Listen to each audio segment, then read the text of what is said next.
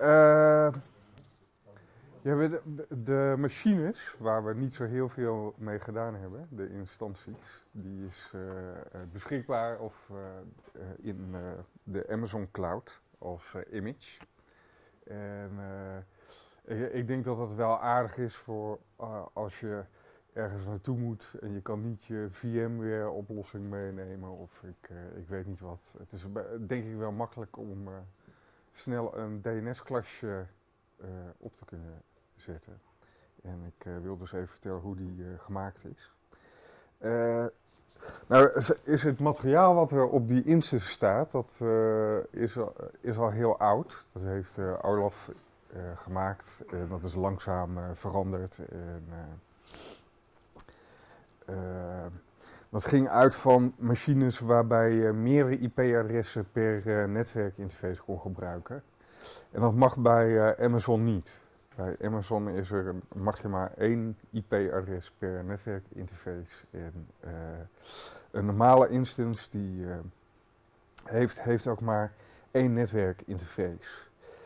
Dus eh, nu heb je wel de Virtual Private Cloud in eh, Amazon. En daarbij is het wel mogelijk om meerdere netwerkinterfaces per eh, virtuele machine eh, aan te maken. En daar ben ik in eerste instantie mee begonnen, maar daar heb ik later van afgezien. Maar de situatie die we nu hebben, dat is daar nog een beetje een overblijfsel van. Eh, dit is de situatie zoals die eh, in de klas nu draait. En die je dus zelf ook eh, kan opstarten. Thuis of ergens anders. Eh, de instructor instance, dat is de eerste machine die opgestart wordt. En die heeft eh, twee interfaces. De root, de alternatieve eh, root server. En de, het, de regi- registry voor .work. Dan wordt er, is er nog een tweede machine opgestart in de Virtual Private Cloud. Ook met twee netwerkinterfaces, waarvan één de resolver voor eh, die alternatieve root en één subdomein onder het eh, work-domein. en de studenten die worden in de eh, normale Elastic eh, Compute Cloud gestart. Eh, deze die kostte 9,5 cent per uur in eh, Europa en deze 2,5. Nog minder dan ik eh, dacht zelfs. Dus eh, achteraf gezien is het misschien, was het handiger geweest om gewoon ook voor de root en voor work en verifier en infrawork gewoon een ouderwetse instance eh, te starten. Want hè, twee keer 2,5 is de helft bijna van eh 9,5 cent. Maar goed. Het, eh, eh, ik denk dat we vier dagen cursus, dat dat ongeveer... Godverdomme, 10 euro man. ja, ja, op 40 euro gaat kosten of zo. eh, omdat, eh, nou ja, ze staan gewoon eh 48 maal eh, in het woord. Ehm, vanwege deze situatie moet, moet je dus, als je die instance wil gebruiken, als, of die image wil gebruiken voor een klas, een paar dingen eerst opstarten. Je kan de image ook gebruiken standalone. Om, om gewoon voor jezelf een beetje te experimenteren met al die eh eh, nameservers. Maar dat tezijde. Wa- Wat we moeten maken zijn deze dingen. De, het segment voor de Virtual eh, Private Cloud. Eén netwerkinterface. Twee IP-adressen. Deze moeten we starten. We moeten twee publieke IP-adressen, dat heet eh, Elastic, eh, of Elastic IP's, heet dat eh, bij Amazon. Een secure shell key en eh, twee eh, security policies, waarin je zegt secure shell van overal, eh, DNS van overal en web alleen vanuit dit eh, lokaaltje. Nou, dat is heel veel werk, Eh, dus dat heb ik al gedaan. En als je, als je dit hebt, al deze dingen hebt geconfigureerd, dan kan je de instructor instance starten en die start dan de, oh, nou ja, maakt niet uit, de resolver en de studentenmachines en de, de rest van de IP-adressen die nodig zijn. Ehm, dus dat eh, ga ik nu doen. Ik kan misschien nog even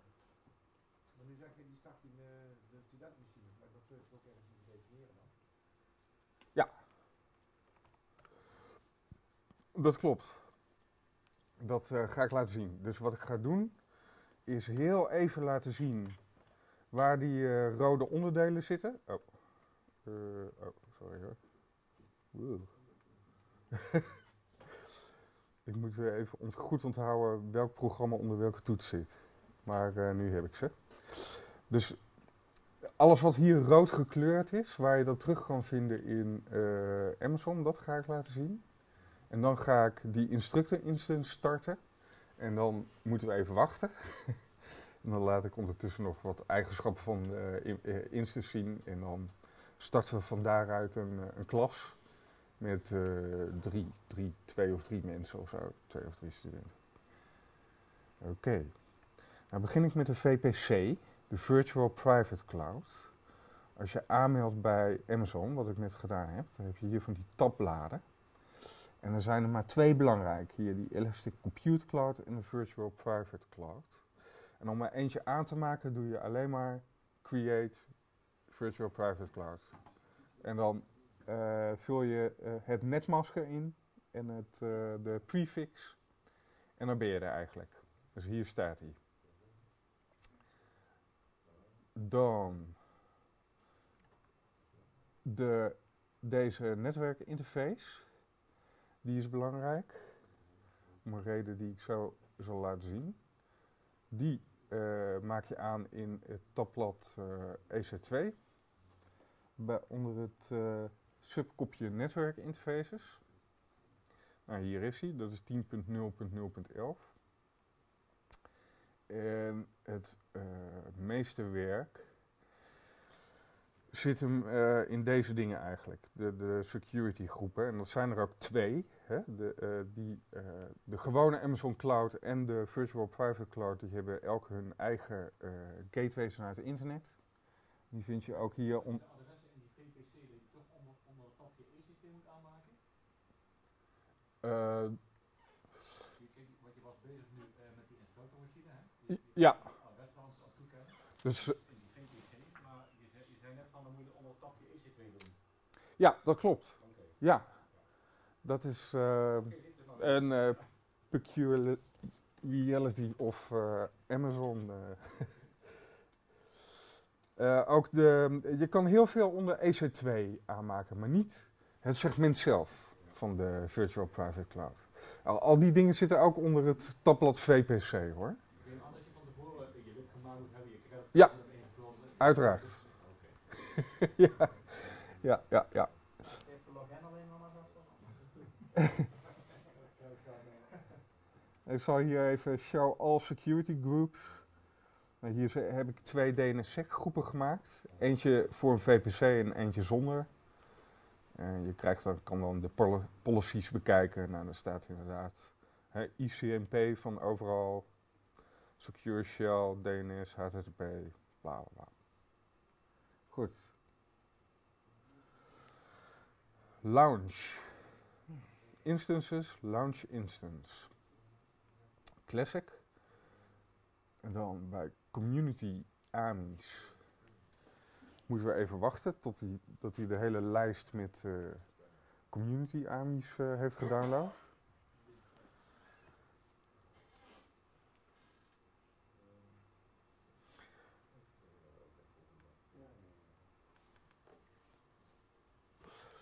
Ehm, ja, daar is hij.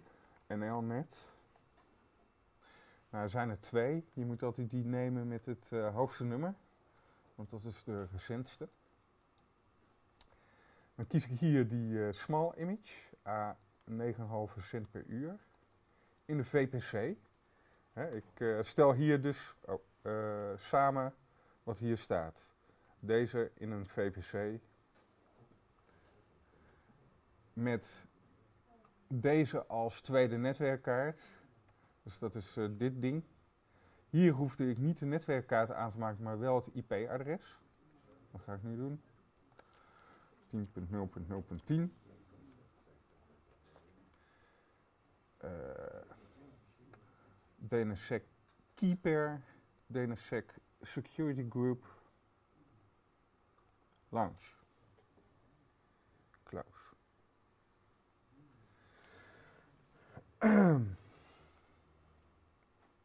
Ehm, nou ja, je ziet hem hier, hij is pending. Het kan even duren. Eh, ik, wat ik ondertussen kan laten zien, zijn dingen die nog meer mogelijk zijn met eh, de instance. Zo heb ik bijvoorbeeld eh, bij Olaf instance een extra domein geplaatst. Het, onder het subdomein wilm.work. Niet afgesproken. Namelijk let Willem work. Daar kan ik dan wel weer een afspraak over maken. dat zal ik dan niet. Eh, even kijken. Ik moet even op mijn eigen eh, machine inloggen. Oh ja, EC2 user.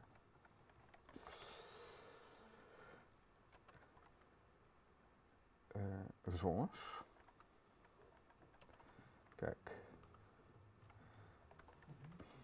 Let heeft als nameserver olaf.work. Die heeft een domein. En eh, bovendien is dat domein gesigned. Nou, als ik nu naar mijn eigen. eh, Oké, hij is al running. Dan ga ik hem, kan ik hem alvast een IP-adres eh, toekennen. Dus wat ik nu ga doen, voordat ik weer terugkom bij Let Willem Work, is hier een publiek IP-adres aan toekennen. Associate address. Dan kies ik er eentje. Is er maar één. Goed.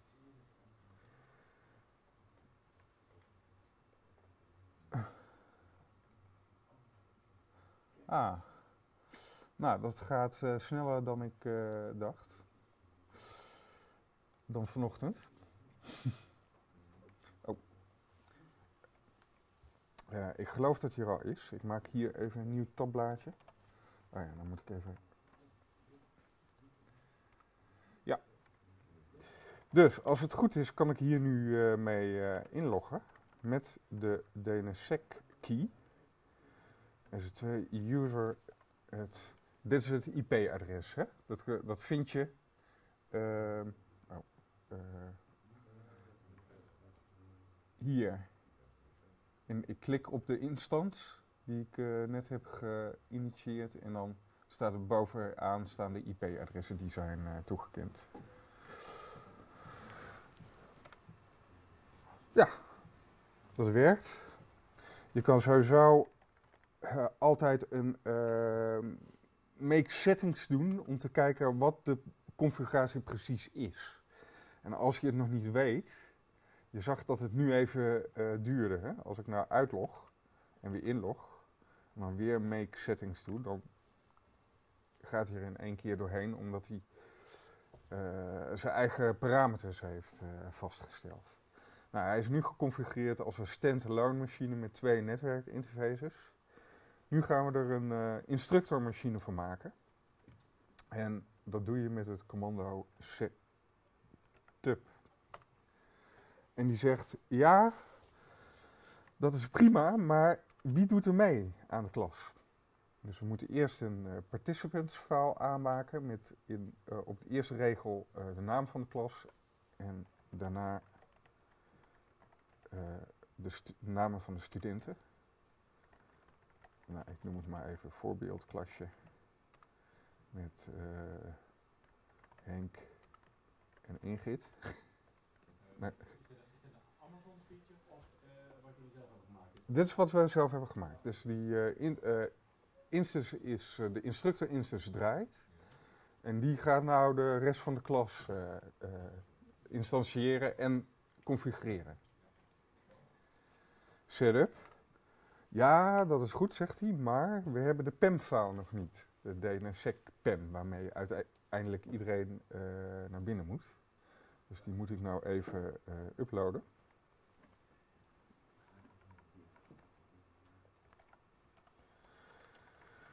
Oh. ja, dat, eh, ehm, dnssec.pem. Dat was dat proxy-project, hè, waar eerder... eh, dus eh, geen rare dingen denken over mij.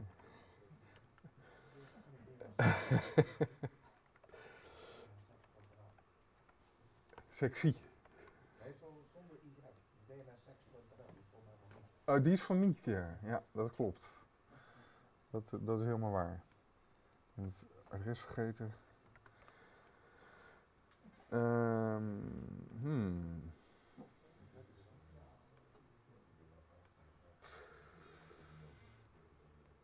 Eh, ik, de, de- de volgorde is verkeerd. Ik moet, eerst moet ik eh, de key geven en dan zeggen wat ik precies wil kopiëren. Juist. En dan moet hij hier trouwens ook nog, eh, in tegendeel tot wanneer je het wil gebruiken, eh, re- world readable zijn. Want hij wordt uiteindelijk beschikbaar gesteld via de website. Hè? Nou, volgens mij hebben we nu alles. En dat klopt. Hij vraagt nu om mijn Amazon Access Key. Dan, eh, die vind je hier onder eh, Security Credentials. Oh, nou. Ik doe dit even onder mijn privé-account, hè, omdat, eh, zodat ik niet en dan met labs eh, in de weg zit. Nou, dit is de, mijn access key. En die heb je nodig met je extra instances bij daar staan. ja, precies. Dan hebben we ook een secret key eh, nodig. Dan sleep ik even het windootje buiten beeld. Toch? Ja.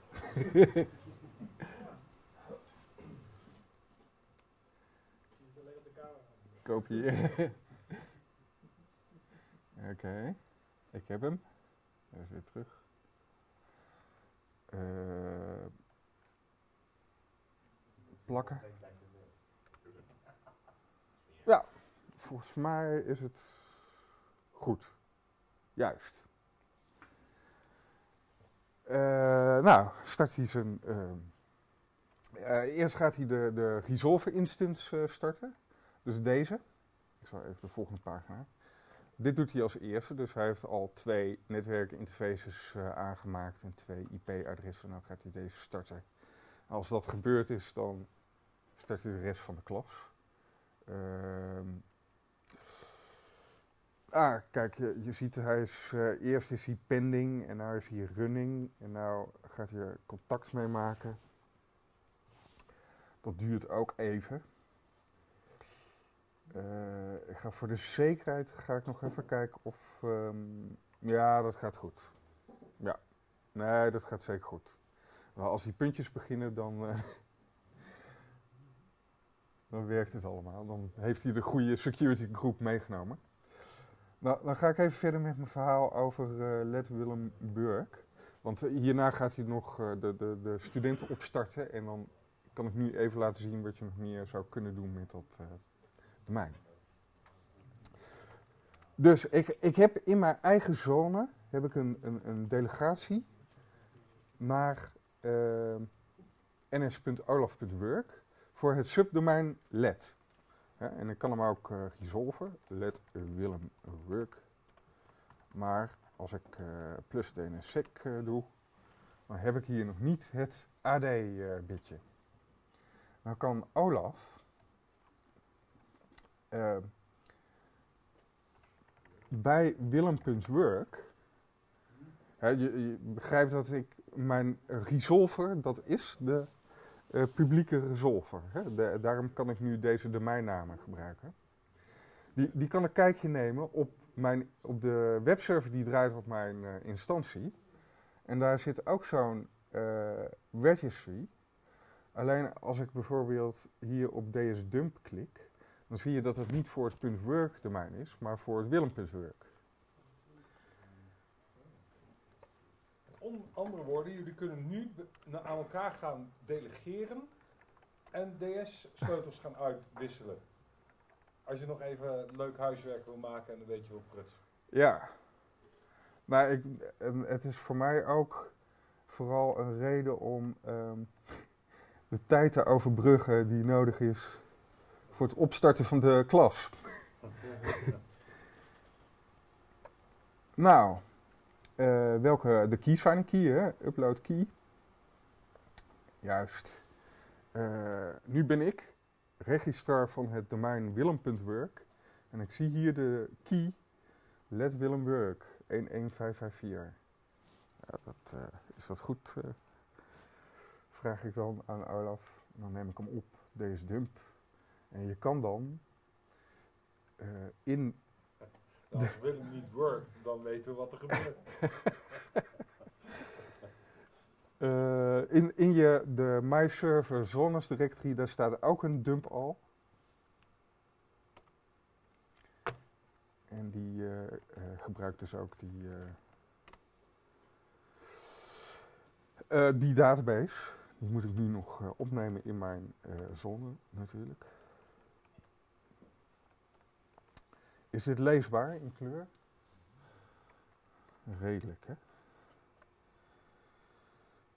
Eh, include ds.list was het, hè? ds.list, ja. Sec sign eh, zonne willem.work en dc reload. Nou, ik hoop dat het werkt. Let Willem work. In een sec. Tadaa. Dat is misschien nog eh, in een andere klas eh, een, een leuke oefening. Hmm.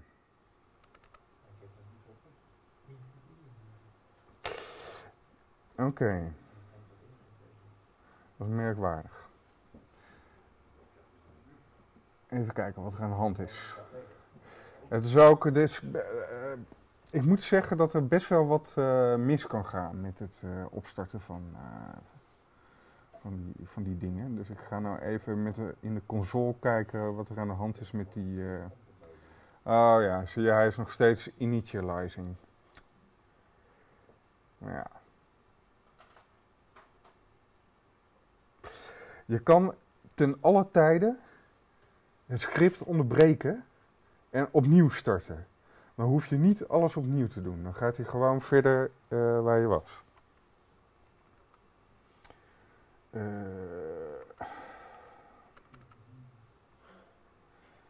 ja. Het idee is echt voor de trainers die verder willen trainen, Ja. dat je hier een eh, out-of-the-box training environment meekrijgt. Vandaar dat we er even wat tijd in besteden, aan besteden. Ja. Dat Er klopt. zit ook veel werk in. Er zit veel werk in, ja. Dan moet je die eventueel eens downloaden van Amazon, denk ik. Eh, nee, het is dus een publieke image. Dus je kan hem eh, kiezen bij het launchen uit de eh, community eh aan. Het, het is echt een, een Amazon image. Het is een beetje op Amazon geënt, zeg maar, de setup. Ehm, Maar is dit er dan één Willem of zijn dat die al, eh, zijn het er twee die aan de rechterkant zitten? Ehm, Of maak je, maak je van de een maak je daar de tweede van? Komen die daar? er, er zijn eh, nu vier machines opgestart. Twee, Ah, eh, Oké, maar wat, wat je zou moeten downloaden om dit na te kunnen bouwen, heb je dan mee rechtsboven nodig? je hoeft niks te downloaden. Je kan het kiezen in Amazon als... maar alleen die instructie. maar die, die ma instantieert kopieën van zichzelf. Er Ja, zit en dan aan een de hand template in van die instructormachine.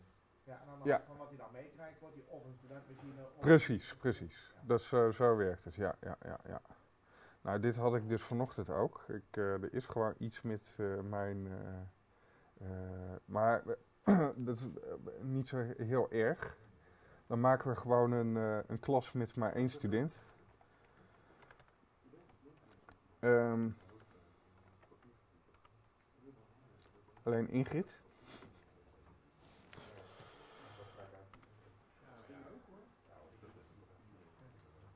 Oké.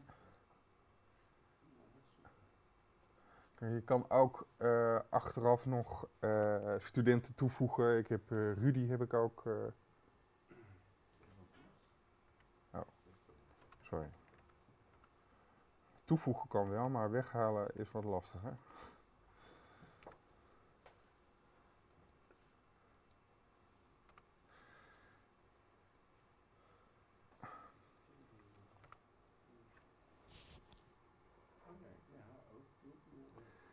Oké. Goed, alle machines draaien. Nu wordt er overal eh make eh, gedraaid. De- elke machine die weet welke rol die heeft. En eh, dat is het. Als het goed is, kan ik nu naar Ingrid. En dat is ook zo. Je, krijgt dus, je ziet de settings die anders zijn dan bij ons. Hè. De, de resolver is dit, dit adres. Dat lijkt wel verdacht veel op het onze trouwens. Settings. Ah, bij ons is het 228, zie je dat? Hier is het 227. Ehm nou ja, dat, eh, dat is het. De, de, de website draait dus op eh,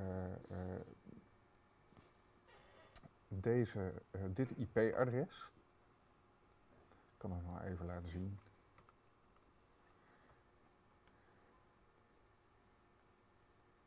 Dit is een, een site met eh dnsec.pem en dnsec.ppk in plaats van ngn.pem en ngn.ppk. Eh, er is maar één eh, student, namelijk Ingrid.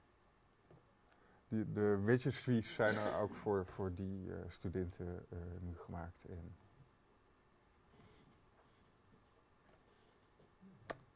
dat was het.